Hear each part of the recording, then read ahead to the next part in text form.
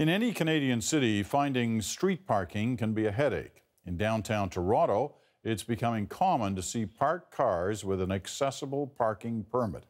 CBC News has learned the number of permits issued in the city has jumped more than 60% in the past five years. Our senior investigative reporter, Diana Swain, recently rode along with the unit trying to keep the permits in the hands of those who need them.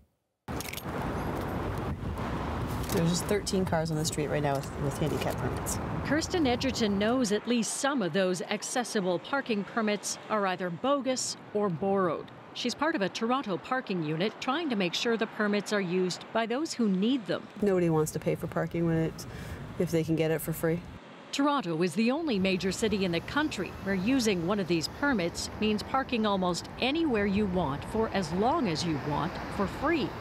It can be tempting for some to use someone else's permit. And she's been at home all day? Yes.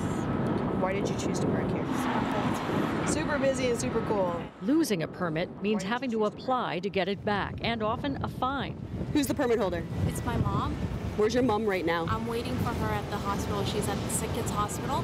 Your mother has to be here, entering, exiting this vehicle. Okay. The fact that you're parked here, adjacent to your employment, you attended work today, your mom's been at a hospital for nine hours. 800 permits were taken back last year alone. Some don't Sir? take the news well. Sir, hi, how are you? Can I just see this permit on the dashboard, please? This driver claims the permit belongs to the woman with him. According to Edgerton's information, it belongs to someone much older.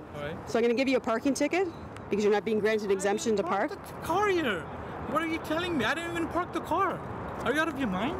No, sir. What I observed was This you is parked the vehicle ridiculous. and then Come exited on, the Are you kidding me? It doesn't cost anything to get a permit so long as a healthcare worker is willing to endorse it, but it can be worth a lot. Downtown parking can cost $30 a day or more. Over the course of a year, that's thousands of dollars. And as we witnessed, some people will do anything not to get caught. Sir, no, you need to stop the car right now. It's an offense of the Highway Traffic Act to stop. For a priority, please. I have a Duncan going southbound on Duncan at Adelaide, the male refusing a permit to me. That sort of thing happens? Yes. You're kidding. Who's driving? I, Common, comment. But I'm not going to put myself in a, in a, in a space to, to get injured or, or hurt. Of the people issued tickets will have their day in court. As to why the number of permits has skyrocketed in Toronto, the provincial office that hands them out says it may be due to an aging population or more cars on the road. But the numbers suggest some drivers are willing to find a way to game the system at the expense of those who really need the permits. Diana Swain, CBC News, Toronto.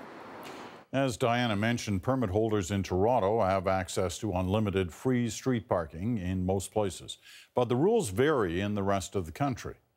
For example, in Montreal, Winnipeg, Calgary, and Vancouver, permit holders must pay like everybody else, but there are designated accessible spaces. In Edmonton and Ottawa, there is free parking at meters, but with a time limit.